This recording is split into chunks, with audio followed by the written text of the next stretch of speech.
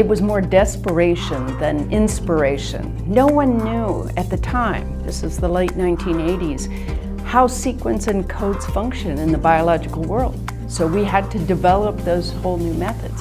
And if you don't know, why not use a process that's proven to work? It's called evolution.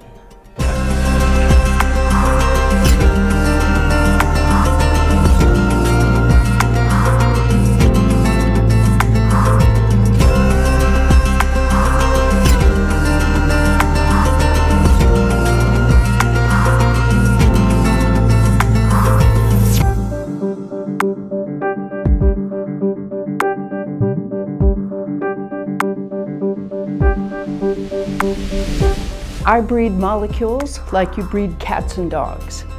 I decide who mates with whom, who goes on to parent the next generation, and I also decide which traits I'm looking for.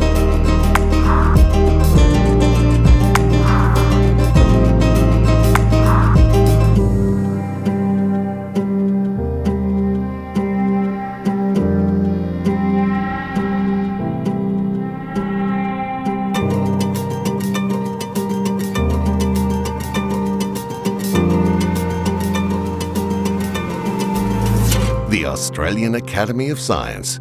Follow our Facebook page.